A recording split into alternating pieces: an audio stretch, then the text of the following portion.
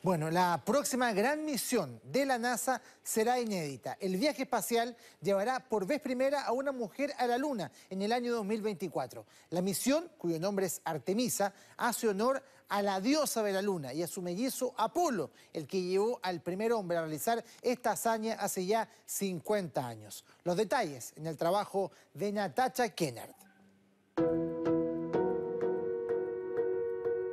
I want to get up as soon as I can. So that means that I'd like to be the first woman up.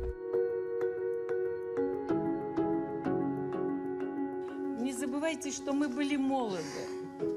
И это было э, желание, огромное желание полететь, э, доказать, на что ты способен. Estas son algunas de las mujeres que desafiaron la gravedad y los prejuicios, marcando hitos imborrables en nuestra historia. El próximo será en 2024, cuando la primera mujer llegue a la Luna. La misión de ir a la Luna en 2024 se llamará Artemisa por la hermana de Apolo y la diosa de la Luna. Estamos muy emocionados de que en 2024 llegue la primera mujer y un hombre a su superficie. Así lo anunció el administrador de la NASA a través de su cuenta de Twitter. En menos de cinco años, la próxima huella en la Luna será el de una mujer. Five, four, three, two, one, zero. All engine running. Liftoff. We have a liftoff. 32 minutes past the hour.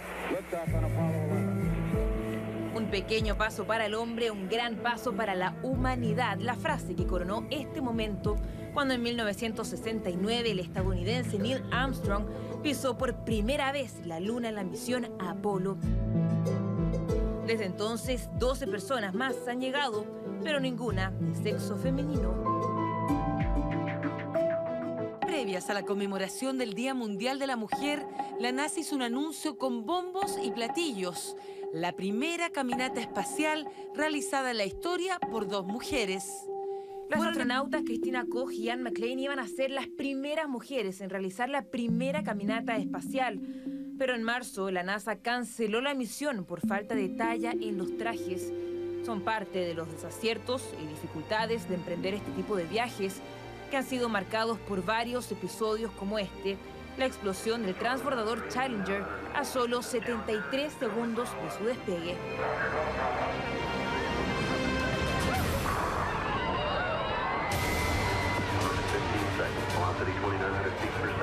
El trágico accidente de 1986 que Estados Unidos no quiere volver a repetir. That's just not good enough. If NASA's not currently capable of landing American astronauts on the moon in five years, we need to change the organization, not the mission. Más presencia en la Luna es lo que busca Estados Unidos. Esta semana el mandatario Donald Trump anunció que agregará 1.600 millones de dólares al presupuesto de la NASA sobre la solicitud inicial de 21 mil millones de dólares. Una meta ambiciosa que marcará otro gran paso para la humanidad, también para el feminismo.